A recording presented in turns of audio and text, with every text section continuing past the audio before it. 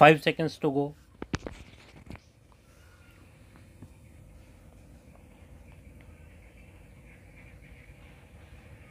Start.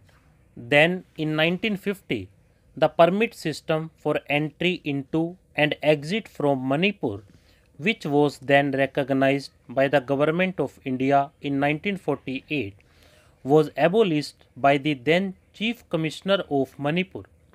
What a tragedy! From that time onwards, there were huge influx of outsiders into the state of Manipur, resulting thereby a captive economy of the state and big impact on its demography.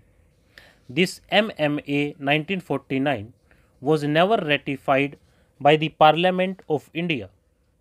It will be interesting to remember that at that point of time there were only three states viz Assam, Manipur and Tripura in that part of the country.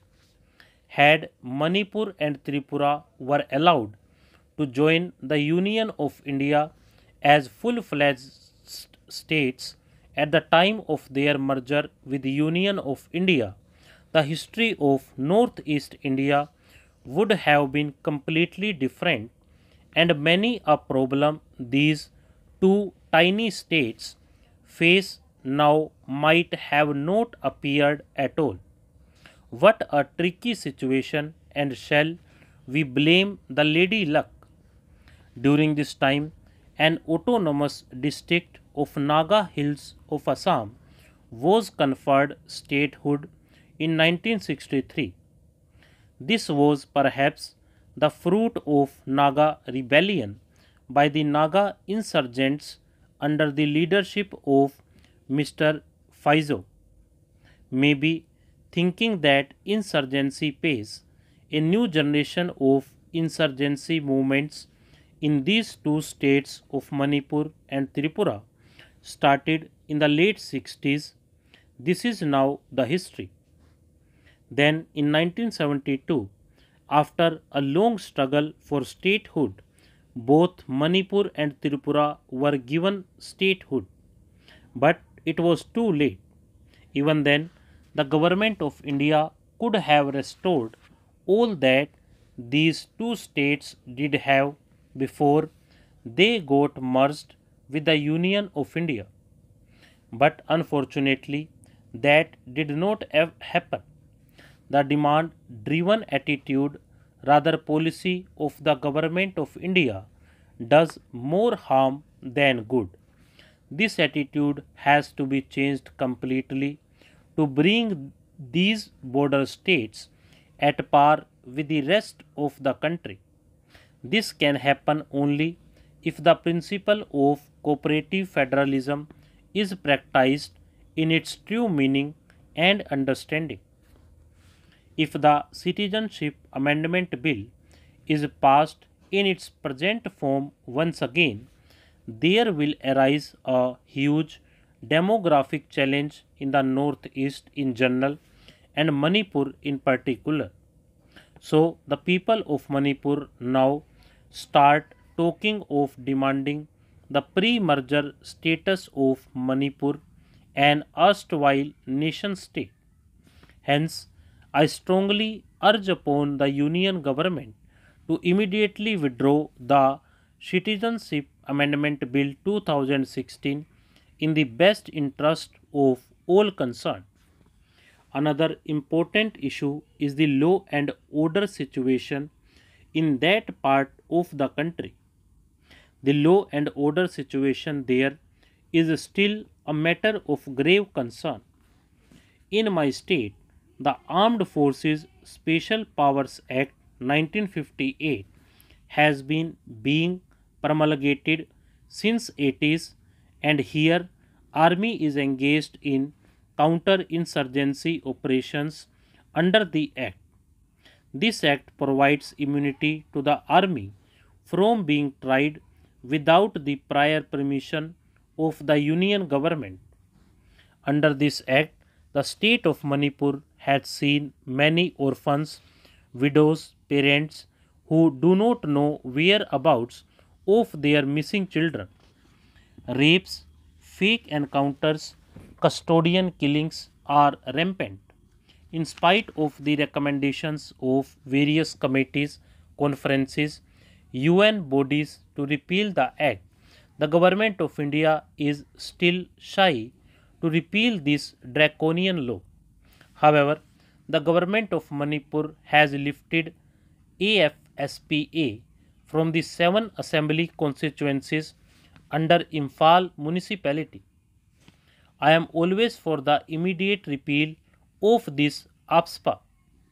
Time has come for this draconian act to go. I do very sincerely urge upon the union government please repeal this act immediately for the sake of humanity. Lastly, being in the border state, I do sincerely wish that our relations with neighboring countries like Bhutan, Bangladesh, Maldives, Nepal, and Sri Lanka would continue to grow from strength to strength, and particularly relations with Myanmar through our Look East policy, now Act East policy, should be able to catalyze and improve. Finally, the claims made by his government are on the contrary and the commitments made are in the vacuum. However, in the best established tradition of parliamentary democracy, I do support the motion Jai Hind. It gives me immense pleasure to express my views on the motion of thanks for the President's Address 2019. I wish to remember and pay my respect to our inspirational leader Puratchi Thalaivi Amma before I speak. I am glad that our Honorable President has mentioned the efforts taken by the government to build an inclusive society based on ethics and principles. Our nation is moving ahead, guided by the ideals of social and economic justice as enshrined in the Constitution by Baba Sahib Dr. Bhim Rao Ambedkar. I wish to mention the efforts of our mercurial leaders Puratchi Thalaivar, M. G. Ramachandran, and Puratchi Thalaivi Amma in saving the social and economic justice in Tamil Nadu. I wish the government would respect and honor the untiring efforts of Puratchi Thalaivi Amma and confer upon her the highest civilian award Bharat Ratna immediately. The Honorable President has emphasized for an inclusive and modern development of our country, it needs to be ensured that not a single family is deprived of fundamental needs. Lack of toilets had forced crores of Indians, especially our daughters and daughters in law, to lead an undignified and unhealthy life. Under the Swachh Bharat Abhiyan, more than 9 crore toilets have been constructed, out of which more than half crore toilets were constructed in Tamil Nadu. Tamil Nadu has excelled well in implementing the Swachh Bharat scheme.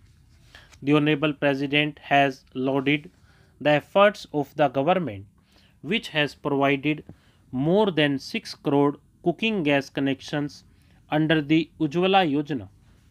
This has to be extended to the remotest corner of the country so that no women in the country should suffer due to lack of cooking gas connection. The Honorable President praised the government for launching the Ayushman Bharat Yojana last year. Under the world's biggest health care scheme, Pradhan Mantri Jan Arogya Abhiyan, 50 crore poor are eligible for availing treatment up to rupees 5 lakh per year per family in case of a serious illness. In a short period of 4 months, more than 10 lakh poor have already availed free treatment from hospitals under this scheme. This scheme has been successfully implemented in Tamil Nadu under the Chief Minister's Health Insurance Scheme implemented by the government of Tamil Nadu working in the lines of Puratchi Thalaivi Amma.